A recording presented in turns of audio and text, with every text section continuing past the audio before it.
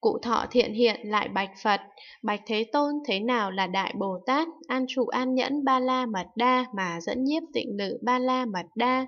Phật dạy,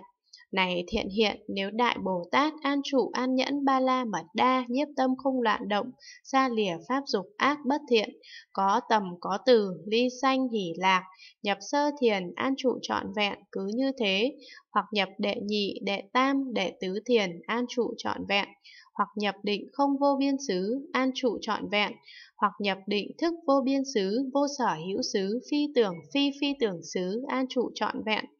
hoặc vào định diệt tận, an trụ trọn vẹn. Ở trong các định ấy, tùy theo pháp tâm và tâm sở đã sanh khởi và thiện căn đã dẫn phát, tất cả hiệp lại cho các hữu tình cùng có như nhau, hồi hướng quả vị giác ngộ cao tột, dùng vô sở đắc làm phương tiện. Khi hồi hướng quả vị đại bồ đà như vậy, xa lìa ba tâm, đó là ai hồi hướng, hồi hướng để làm gì, hồi hướng về đâu, ba tâm như thế, đều vĩnh viễn không khởi đối với các tịnh lự và các chi tịnh lự đều không có sở đắc thì này thiện hiện, đó là Đại Bồ Tát An Trụ An Nhẫn Ba La Mật Đa mà dẫn nhiếp tịnh lự Ba La Mật Đa.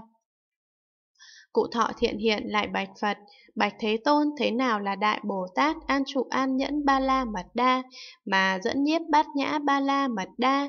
Phật dạy, này thiện hiện, nếu Đại Bồ Tát an trụ an nhẫn ba la mật đa, tu hành bát nhã ba la mật đa, khi ấy Bồ Tát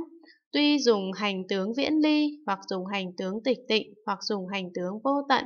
hoặc dùng hành tướng vĩnh diệt, quán tất cả Pháp, mà thường đối với Pháp tánh chẳng tác chứng, cho đến có thể ngồi tòa bồ đề mầu nhiệm chứng đắc quả vị giác ngộ cao tột, từ tòa này đứng dậy,